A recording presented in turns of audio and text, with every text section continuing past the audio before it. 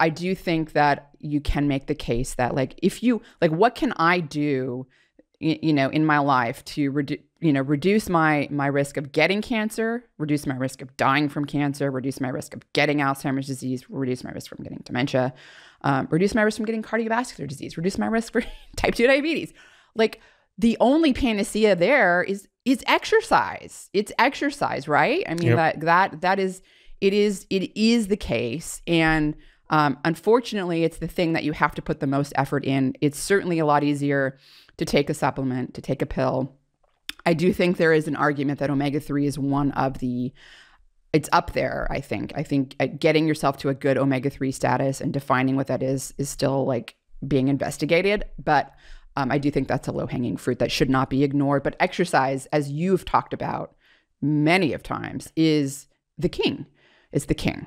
Um, and and that's that's the thing that you should focus on. If you, I mean, any, I mean, obviously, if you're obese, weight loss, exercise is part of that program. And, yeah. and like like I don't think that anyone that's obese should be worrying about all the other things. Like they need to like lose weight and any personal trainer and coach like probably is going to help you do that like just you eat less like that's calories in calories out it like matters to some degree like if you're not eating as much yeah but but as you said exercise matters not just on the energy balance side, but exercise makes you, for example, more sensitive to satiety hormones.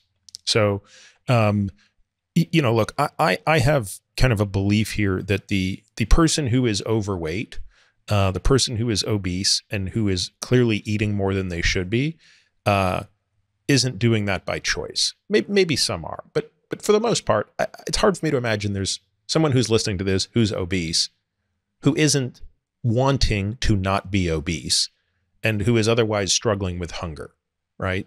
Um, and I think that, you know, that's one of the challenges is why is it that a person who is not in energy balance is not responding to the normal satiety signals.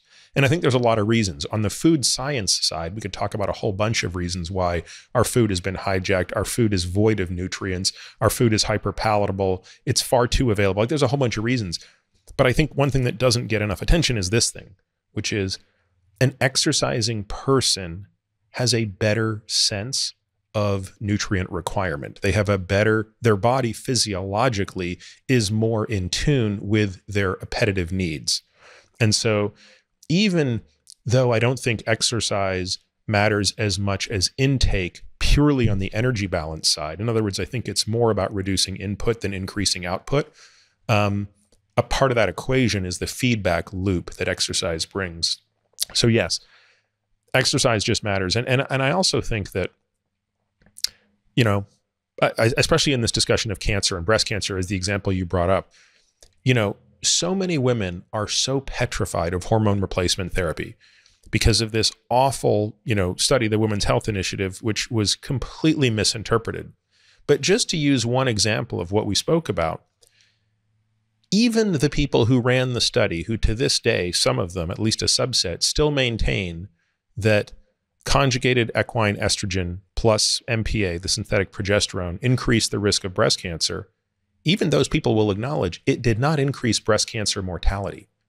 So even if you take the most favorable to the WHI, the Women's Health Initiative study, reading, the reading is that conjugated equine estrogen plus MPA increased the incidence of breast cancer by 0.1% in absolute risk, but did not increase breast cancer mortality.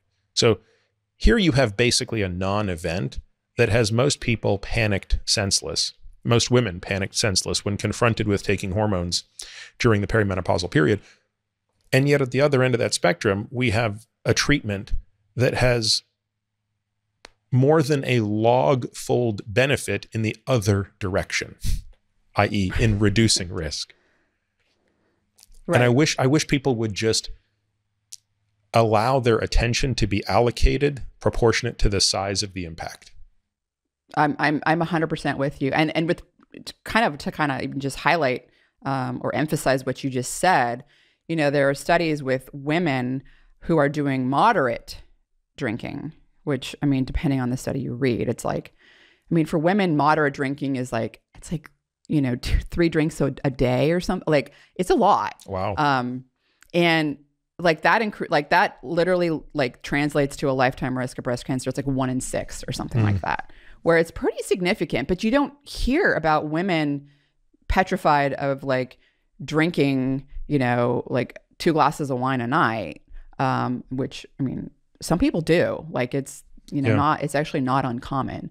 Um, and and so I, it's like again, it's one of those things that you were saying where it's like like looking at like what's going to impact my risk more what is going to lower my risk more like what should i focus on? Like what's like the most important thing? I think obesity does you know it, it absolutely impacts breast cancer.